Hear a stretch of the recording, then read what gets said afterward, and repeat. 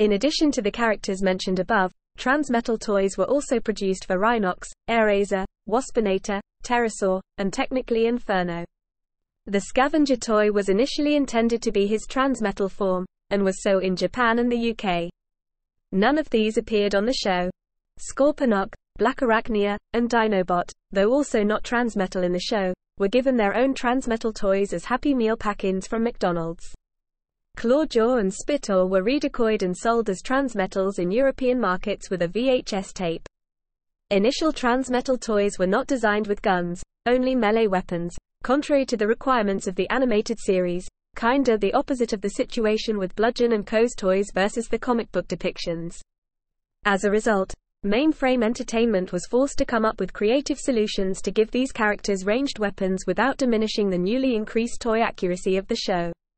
Thus, Tarantulas handheld buzzsaw functioned like a gun and the green markings on his shoulders were depicted as missile ports. Megatron's pincer, whip, flail, whiplash cutlass, thing, red, he's holding his damn tail, gained the ability to stiffen and fire like a cannon, and Cheetor's hands, the halves of his cheetah mode head, were capable of firing energy blasts.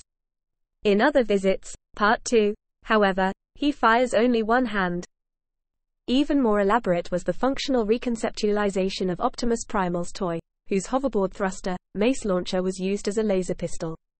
Not content with this rather puny-looking firearm, some clever cove at mainframe noticed that his shoulder pad and mace stowing bracket thing could be flipped over his head, a function of his transformation, and improperly positioned in such a way that the long handles of his dual maces pointed outwards like gun barrels and, with the shoulder pads positioned over his outstretched fists like trigger guards, the whole device was reimagined as something resembling two machine guns mounted on a Steadicam harness. The only exception to these exotic reimaginings was Rattrap, who used his tail, whip, spear as intended but also retained his pre-transmetal gun, albeit with a redeco to suit his new color scheme, despite the fact that the toy did not, no doubt explained by subspace. As an odd point of comparison, the later Transmetal Optimal Optimus was packaged with a rifle, which he never used in the show.